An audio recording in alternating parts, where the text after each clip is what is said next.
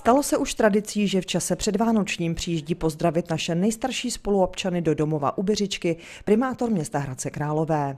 Ani letos tomu nebylo jinak.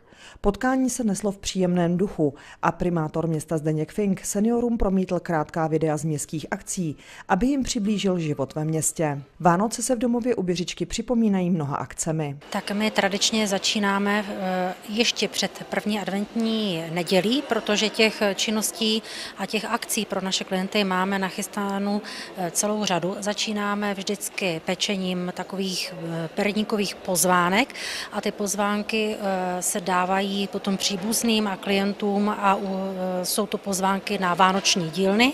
Ty vánoční dílny proběhnou v tomto týdnu, ale vrátím se zpátky na začátek adventu, rozsvěcíme tady potom vánoční stromy, to je jedna z těch prvních akcí a pak už probíhají akce, jako, jako je, jsou vystoupení mateřských školek a škol, se kterými jsme tady v partnerství.